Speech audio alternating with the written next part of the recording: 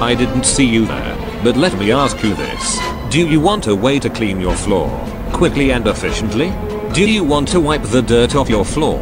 Do you want to release stains off the carpet, cleanse your soul? Right now, let's take a look at our vacuum-less patrons. Are you tired of having to pick food crumbs off the floor?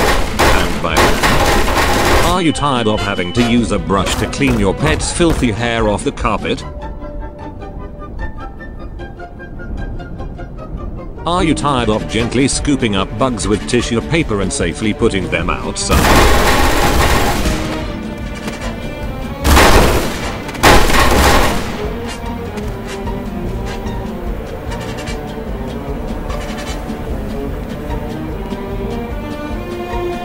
With a new modern invention, the newest clean machine.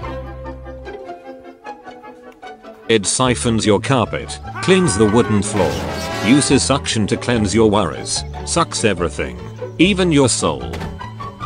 We name this revolution the Vacuum, Vac, Vexum, Vecum, Vacuum, Vocum, Voxum, the vacuum cleaner. Instead of using a brush, water, or your mouth, you use a vacuum cleaner.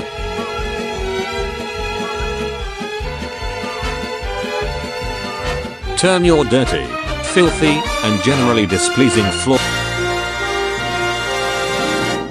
into a room only you could see above the clouds themselves.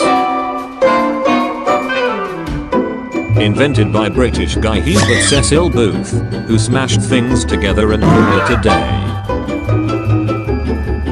In 1901, they made the first power vacuums, so let me tell you, this baby sucks a lot. The product is in anyone's price range $20. $50.